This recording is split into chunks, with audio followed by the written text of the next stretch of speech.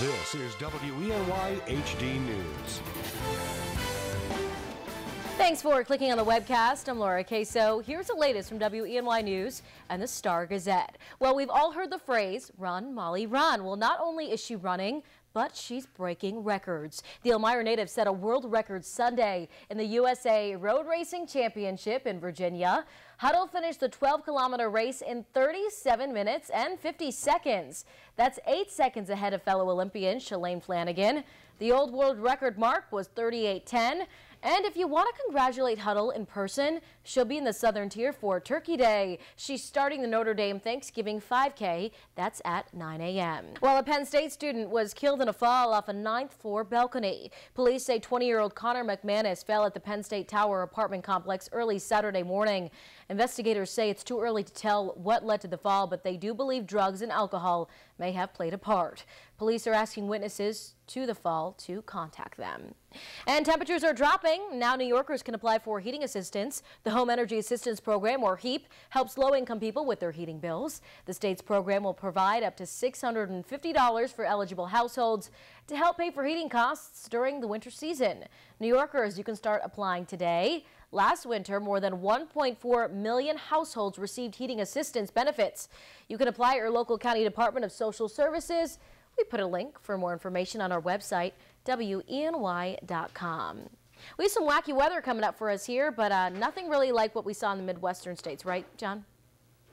Yeah, that's right, Laura. Yesterday, a real tragic day across portions of uh, both Illinois and Indiana, uh, where potentially as high as rated EF4, maybe even an EF5 tornado rolled through some of those communities. Uh, the pictures all over social media just completely devastating. We saw our own wind and rain last night, but just nothing compared to that. We're going to continue with some windy conditions through the day. All of these shaded counties here for our viewing area under a wind advisory until 4 o'clock this afternoon. The rest of your weather story Goes like this, windy today and continued blustery conditions tonight despite the fact that the wind advisory will expire.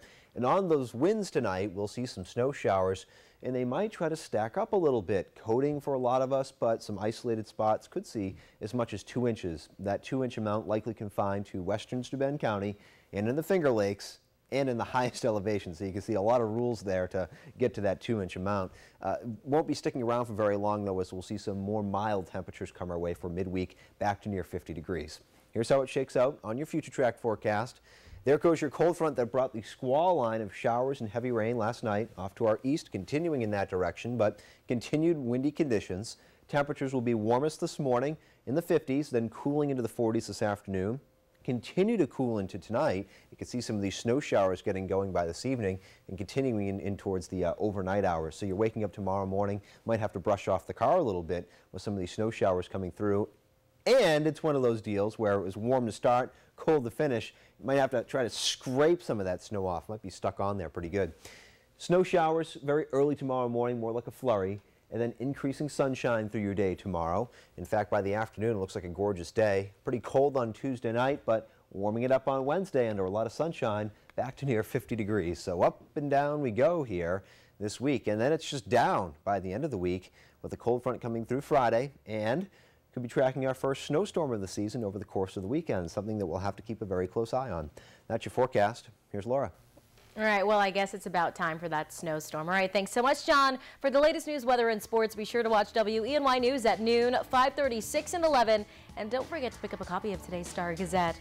I'm Laura Queso. Have a great one.